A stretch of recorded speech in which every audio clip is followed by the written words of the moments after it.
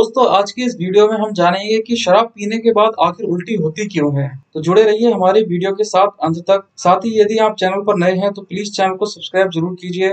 साथ ही वीडियो अच्छा लगता है तो वीडियो को लाइक और शेयर ज़रूर कीजिए। शराब मुख्य रूप से अल्कोहल से बनता है। यह जानने के लिए शराब पीने के बाद लोग उल्टी क्यों करते हैं, हमें अल्कोहल का अपने शरीर पर प्रभाव को समझना होगा। इंसानी शरीर के ज़्यादातर अंग बौद्धिक क्षमता से सन्निहित होते हैं। खराब होने पर ये अंग खुद को ठीक भी कर लेते हैं। उदाहरण के लिए, लीवर खुद को 60 परसेंट खराब होने के बाद भी ठीक कर सकता है। अगर लीवर खुद को ठीक करने में असफल रहता है तो यह हमारे शरीर को अपने खराब होने का संकेत भेजता है, जिसे हम पीलिया कहते हैं।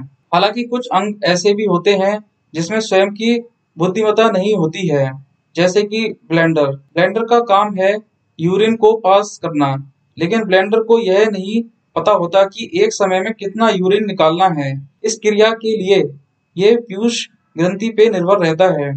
पीयूष ग्रंथि एक प्रकार के द्रव का उत्सर्जन करती है, जिसकी मात्रा ये निश्चित करती है कि ब्लेंडर को कितना यूरिन निकालना है।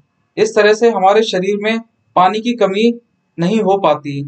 पीयूष ग्रंथि पे अल्कोहल का प्रभाव हमें समझना होगा। जब हम अल्कोहल का उपभोग करते हैं तो यह पीयूष ग्रंथि के द्रव उत्सर्जन की प्रक्रिया को धीमा कर देता है। द्रव की कम मात्रा होने से ब्लेंडर को यह लगता है कि ज़्यादा यूरिन पास करना है और यही वजह है कि शराब पीने के बाद लोगों को बार बार टॉयलेट जाना पड़ता है। सिगरेट का प्रभाव ठीक इसका उल्टा होता है।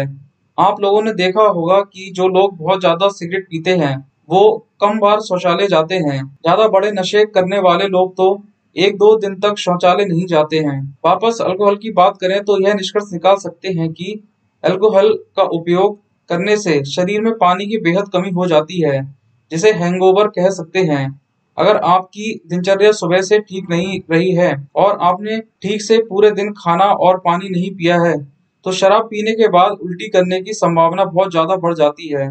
ऐसा गैस बनने के कारण हो सकता है। पानी की कमी से गैस बहुत तेज़ी से बनती है।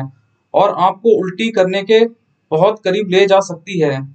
कुछ मुख्य कारण जो उल्टी के लिए जिम्मेदार हैं। नंबर एक, गैस का बनना। नाश्ता या दोपहर का खाना ना खाने से बहुत गैस बनती है।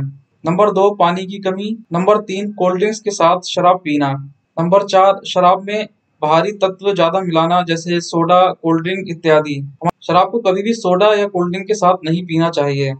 इसको अगर आप पीना चाहते हैं तो कम मात्रा में पीजिए या फिर पानी मिलाकर पीना ठीक रहता है।